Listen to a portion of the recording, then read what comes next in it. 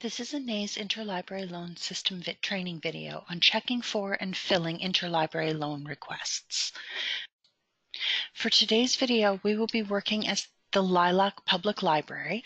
I am already logged into the ILL system as the Lilac Public Library's interlibrary loan account.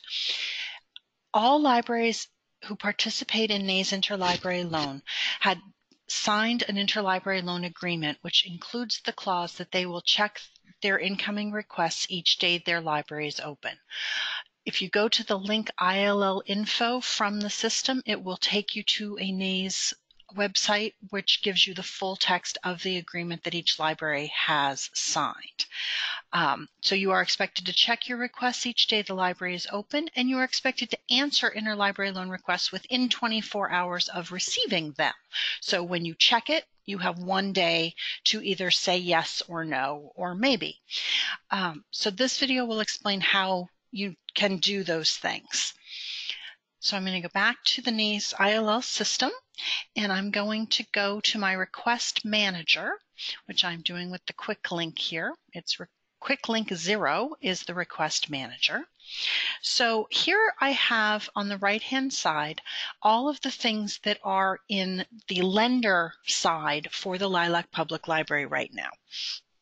And I'm going to start from the bottom of the list and work my way up um, to just give you a quick overview of what the things are and how you should deal with them um, on a daily basis. So the first item here is, whoops, is returned. I do not currently have anything in returned status, and I wouldn't act on it even if I did, because that's going to be driven by when a item arrives physically in the library. When you get the thing back, you come in here and you deal with it as a return. Um, there is a separate video that's, that talks about the returning and completing of transactions. The next thing here is a renew pending. This is something um, that is also covered in a video about renewals generally, but this is something you would want to act on right away. This is some library has asked to renew something they have borrowed from you. So if you have one, when you check your your manager each day, you should definitely um, take a look and see what people are asking to renew and give them an answer. Either yes, they can or no, they cannot, so they know how to proceed with their patrons. Okay, pending cancel. This is another one where someone has asked is asking you to agree to something. Um, a library has sent a request and they are now canceling that request.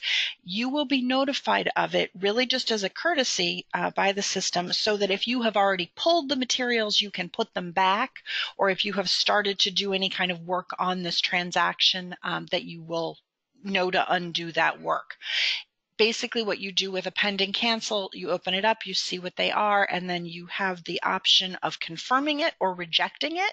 Um, but there's really no reason why you would ever reject a cancel request. Um, if they don't want the book, you don't want to send it to them. So you basically just need to confirm it, which will stop that transaction from moving forward any further, and it it lets you know that that's no longer a thing in that anyone is in need of. So that's a quick thing, but you should definitely do it every time you come in here that you see that you have one. Renew overdue um, is also covered in the video about renewals, and it just like pending is someone is asking for a renewal, but in this case, they're asking to renew something that is already overdue. So it should have come back to you already and has not, and they're asking to renew it, and you just need to say yes or no. Um, and as I said, there is a video specifically about renewals. Um, so you should check that out to see um, exactly how to process those things and what your various options are. Okay, will supply in process. If there is anything in this line, it means that you are holding up a transaction for someone else. Um, it can only be in will supply in process if you put it there and it will not go anywhere ever again for two years unless you take action on it. We strongly recommend against ever using this status because if you can't process things, you should just send them on to the next lender. You shouldn't hold them in case you get to it sometime. Um, but if you have done that, you should absolutely act on anything that is here um, immediately. When every day when you come in here, you should clear anything out of this will supply in will supply in process uh, that got put there for whatever reason. So if you um, do have things there. You have a couple of choices that you can use there. You can ship it, which is the ideal thing if you can lend the item. You can tell them to retry it, and you should give them a note telling them when and why, and we'll see how that would work when we look at pendings because it works the same way. You could make it a conditional, say, we will lend you this if you never take it out of the library, if you promise to have it back in two days, whatever you have to put on there. Or you can say, will not supply, and just send it on to the next lender in the string, and perhaps they can deal with it in a more timely manner than you can. Okay, and that brings us to pending. And the meat of your ILL uh, lender requests are going to be found here in the pending. Um, oh, the other one you could have is you could have a lost item on this list if somebody has lost one of your things. Um, I don't have any of those, and it only shows up if there are any. Um, so if you had that, you would want to follow up and find out what got lost and what you're doing about it. Um, but anyway, so we're going to go back to pending. We will display our pending items by clicking on pending. And that will show me that will show me all of the things that are currently pending requests from someone for the Lilac Public Library. So I see we have four things um, here, three from Birch Public and one from the Newt School. And I can, from this point, do a couple of things. Um, if I want to print copy of what I have so that I can go to my shelves and see what I really have on hand. Um, I can just print this screen. I can print various reports of it um, and so forth. There is a separate video that covers all of your printing options and how to use them. So just know that you can print them if you need to. Um, we're going to proceed on the assumption that I have checked out what these requests are. I've gone to my catalog or to my shelves, and I know that I what I can do with each of these transactions. So I have, um, I might have some indicators here. This little push penny thing would tell me if there were a note under that column or a mark under that column that there was a note from the potential borrower attached to this transaction and I should go look at that note before I proceed. There are none in this particular case. There is also the potential of having a red flag here, which tells me that I am about to have this this request move on to someone else because I have not acted on it and it's been there for a couple days. So you should definitely deal with anything that has a red flag in a timely manner because it's going to move on.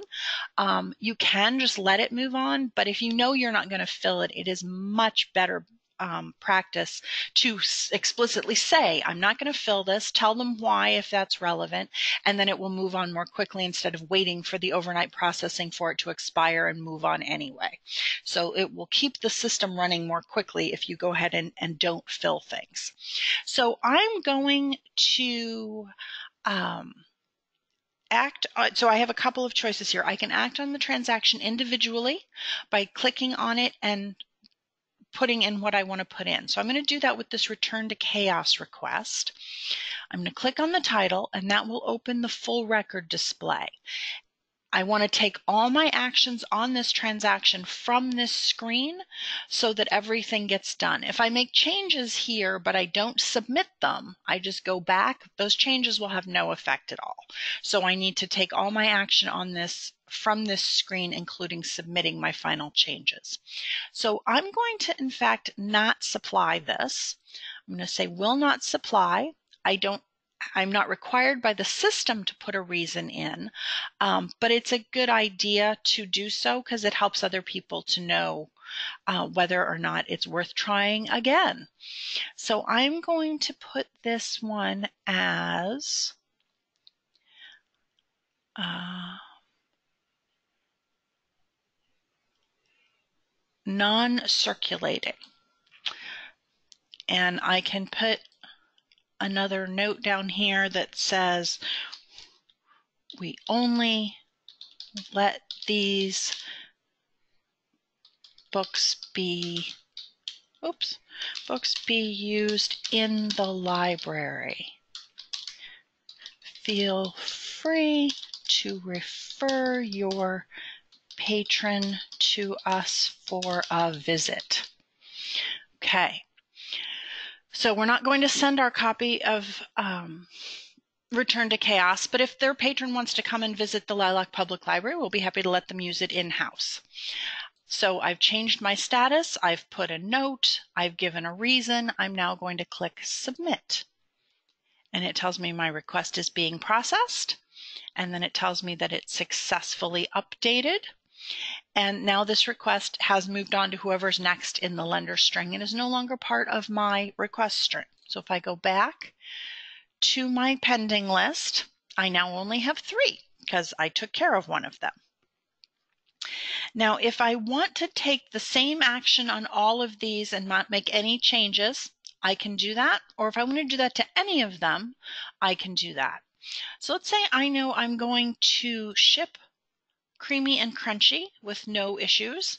And I'm going to ship, whoops, ship. I have to actually get it clicked on properly so it changes. So I have Courage of Turtles is set for shipped and Creamy and Crunchy is set for shipped. I'm not giving a condition because it's shipped. There's nothing to say. Um, but it defaults to omit condition automatically. So I'm going to submit this screen and that will ship with no further notes, comments, or changes. Uh, the Courage of Turtles and Creamy and Crunchy. So I submit and those two titles are now shipped off to whoever it is that's getting them. Now I'll want to print slip print um, my slips so that I can send them to the proper place. That is covered in a different uh, video about how to deal with your shipping slips. Um, if you use your own shipping slips, you'll have to open the transaction to see who it is you're sending it to and fill out your own form. Um, so either way, you'll need to do that. But if you are using system shipping slips, you can just set them shipped and then you'll go as a later step to your print list. All right, so that leaves me with one more transaction here in my uh, request manager and that is death comes for the archbishop. So I'm going to lend this one, but I have some things I need to say to the borrower about this one. So they have asked, this one is, is came uh, to me. I'm going to lend it to them, but the normal due date would be December 16th. And I'm not really going to be available to deal with anything on November, on, I'm sorry, December 16th, because um, my library is going to be closed at that period. So I don't want it to come back then anyway. Um, so I'm going to give them a longer due date and I'm going to have it be due on the 23rd of December. And in order to make that change to the due date, I need to actually come into the transaction. There's no way to do that from that front screen. So I'm going to do that. I am going to put a note that says, giving you an extra week because we will we will be closed for painting on the normal due date. Okay, so I've made my change to the due date. I made my note so that they know why I did that. And then I'm going to change this to a shipped status. And then I'm going to click submit and my request is being processed and it was successfully updated. And I can go back to my request manager and I see that I have no more pending requests as the lender. Or it's not really back to my request manager, it's back to my pending list for lending. My request manager I can return to with the quick link zero and see whether anything has happened since I was here before no new things have come up that I need to take action on. Um, someone has accepted a renewal. I have shipped some things. I have something complete, but I don't have to do anything about those because those are all awaiting partner response. So that's something that somebody else has to take action on. So that is how you check for and fill your interlibrary loan requests in the NHAIS ILL system. If you have questions about any of this, please contact the NHAIS Help Desk at 603-271-2141 or send an email to the address on your screen. Thank you for watching.